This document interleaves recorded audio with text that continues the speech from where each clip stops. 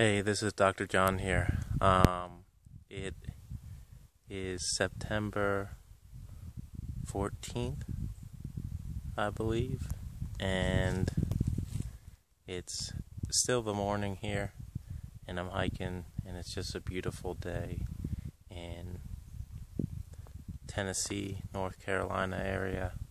The sun's out, and there's a little bit of breeze, and it's around 80 degrees and I got 16 days left on the trail, and I'm just thinking, while I was walking up the trail, and I was thinking, the one thing that I love about it is, even though you have the map and you kind of know the elevation and some things that are, you know, in front of you, like water and a shelter, for instance, but you really don't know what the trail is going to bring each day and you don't know what will be down the trail and you're kind of walking towards that and that's a really cool feeling.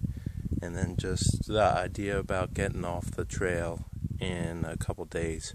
This morning i had 328.8 miles to go to springer and if you count uh, you know today hiking for 16 days that's 20 a day plus that 8.8 but I'm gonna hike 22 t- today, so tomorrow it's gonna be 306, and I figure I'll probably get to a point where it's less than 20 a day, and so I'm gonna make it. I'm gonna be able to do the Appalachian Trail through hike, you know, and which is crazy.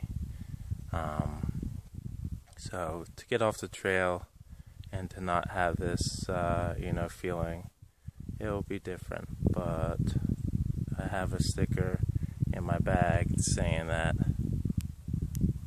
the journey is the destination. So even though I won't be on the trail, I'll still be journeying somewhere, and uh, which is a good feeling. But anyway, I thought I'd try and capture this emotion in a video just because uh, I'm feeling pretty good this morning, and also just thinking about the trail being done. So.